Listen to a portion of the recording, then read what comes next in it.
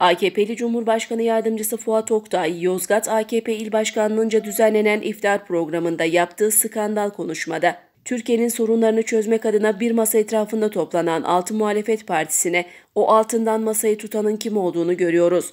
Onlardan başkası da var. PKK'yı da HDP'yi de ekleyin iftirasında bulunmuştu. Demokrat Parti Ordu Milletvekili Cemal Engin Yurt, Fuat Oktay'ın o sözlerine sosyal medya hesabı üzerinden sert sözlerle karşılık verdi. Engin Yurt Twitter hesabından verdiği karşılıkta Cumhurbaşkanı Yardımcısı Fuat Oktay, altılı masada PKK'da var demiş. Yazıklar olsun. Bu vatanı devleti seven partilere ve onların milyonlarca seçmenine PKK'lı diyen aynaya bakarak mı söyledi bu iftirayı? Siyaset iftira ve çamurat olmamalı. Fuat Oktay hiç mi vicdanın sızlamıyor ifadelerini kullandı.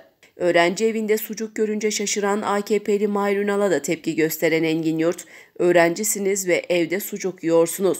Çok ayıp, çok ayıp. Sucuk sizin neyinize? Açlığa şükredip sabır edenlerden olunuz. Mahir Ünal amcaları kusura bakma çocukların söz bir daha sucuk yemeyecekler dedi. CHP Mersin Milletvekili Alpay Antman ise AKP'li Mahir Ünal bir öğrenci evindeki menemende sucuk görünce şaşırıyor ve bunlar şikayet etmiyor muydu ya diyor.